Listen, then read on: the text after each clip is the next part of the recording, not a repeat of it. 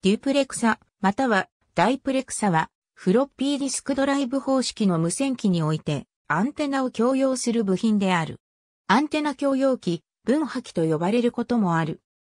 フロッピーディスクドライブ方式の携帯電話機、あるいは業務無線やアマチュア無線のレピータのように送信と受信を同時に行う無線機において送信アンテナと受信アンテナを一本のアンテナで共用した場合、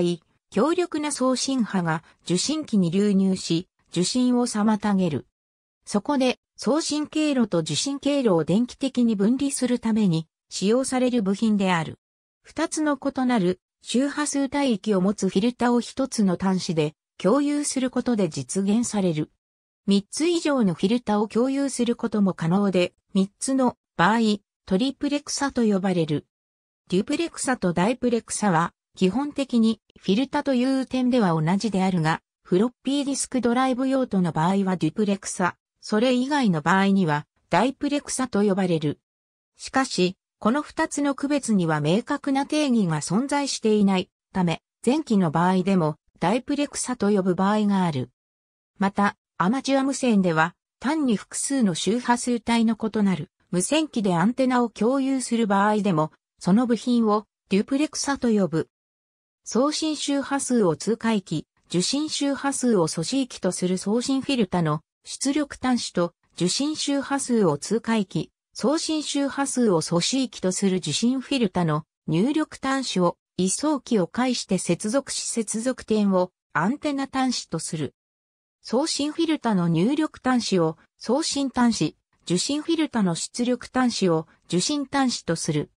位相機の目的は通過域のインピーダンス50オームに対して阻止域のインピーダンスを十分高くすることによって接続時に相互に影響を与えないようにするためである。